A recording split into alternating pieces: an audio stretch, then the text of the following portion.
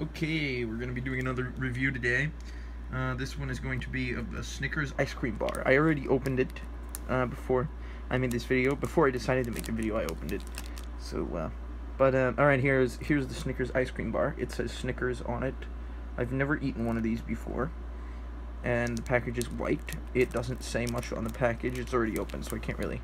This unit is not labeled for individual retail sale. Okay, Alright, well, I'm going to try this right now, and I'm going to explain the taste to uh, people. You.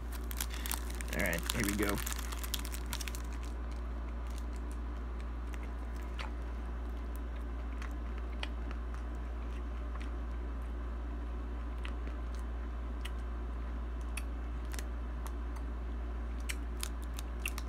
That is very enjoyable. It hits you very, very strongly towards the middle to end of the tasting.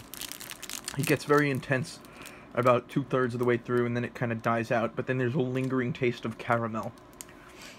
It's very good, actually. Uh, yeah.